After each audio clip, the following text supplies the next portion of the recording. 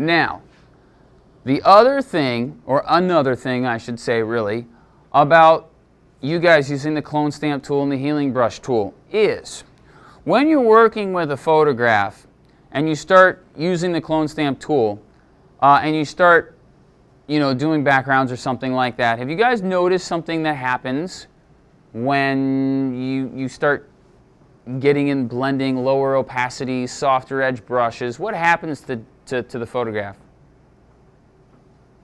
Anyone? Can you see? It's hard for you to see up on the up on the screen here, but you guys who are close to my monitor. You can see it. Here's here's the original. Here's the cloned area here. Here's the original area here near her lip.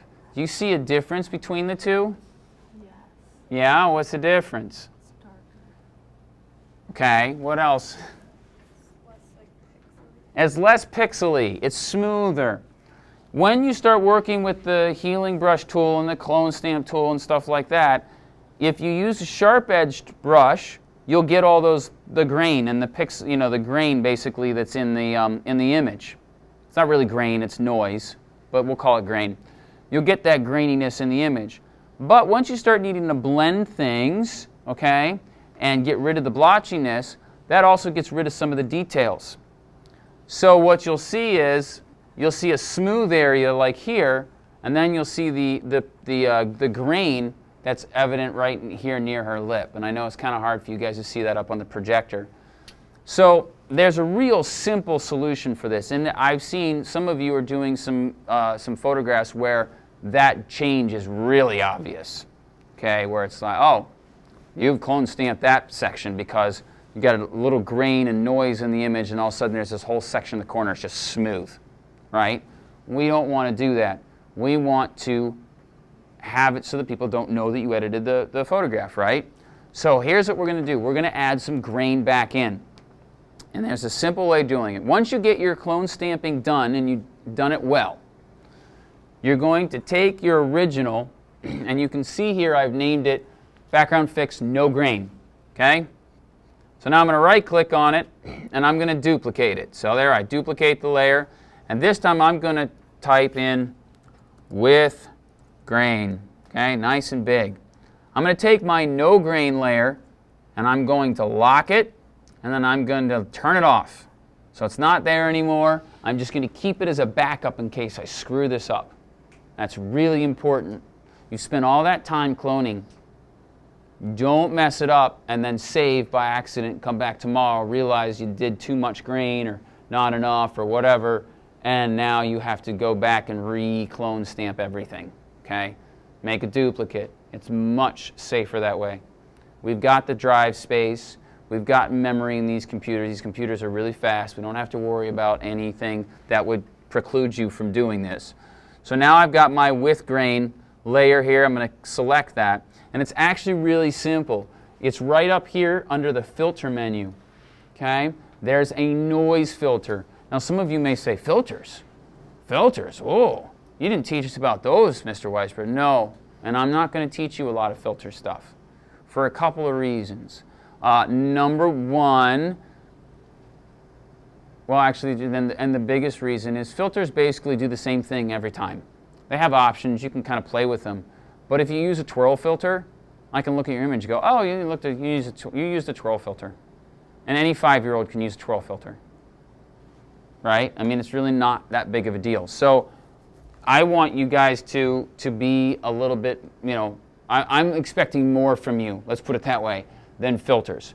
But there are some filters that become quite handy, and the add noise one, in this case, is going to be one of those. So I'm going to select add noise, and it's going to open up this uh, thing. And you can kind of click around until you see a preview of what you got.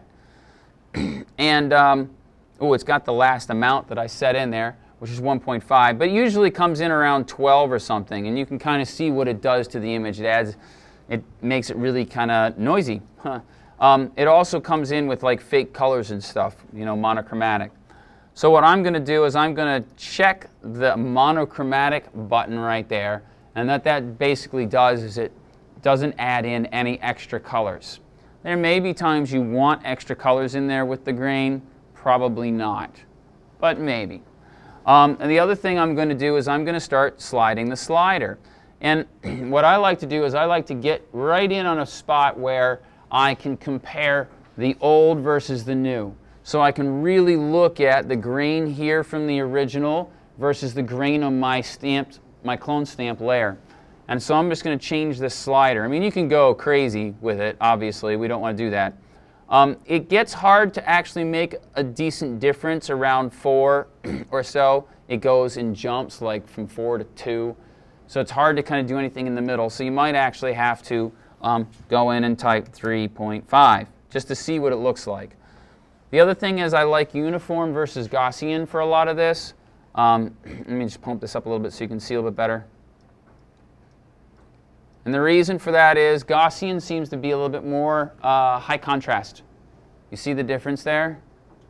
Okay? Uh, and, you know, usually we want this to be a subtle effect. We don't want it to, to stand out too much. So I'm going to go back down to around 3. That was starting to look pretty good. And, and my, again, my goal is to match it with the, the section that's not done. And, and I can sit there and, and turn it on or off to really see what's happening. You look right here especially, um, and you, you can see it kind of come in and come out there. That's really good. So 2.45 is actually looking really good. I'll, I'll experiment a little bit. I might go up to 2.75 and see if I like that. That probably is a little much and maybe go down to 2.0 and see what that's like. Nah, I like 2.5, 2.45 was looking really good. And so once I think I've got it, I'm going to click OK. And then I can kind of look around and see how it looks in the entire bottom section that I cloned out. And now if you do that right, all that smoothness and that artifact that you created by doing the clone stamp tool, that's all gone away. Nobody will be able to tell if you did it right, that you removed an object or, or, or changed the background in any way, shape, or form. Okay, because now you're, you're starting, what you're doing is, your original photograph was theoretically imperfect. It had grain in it.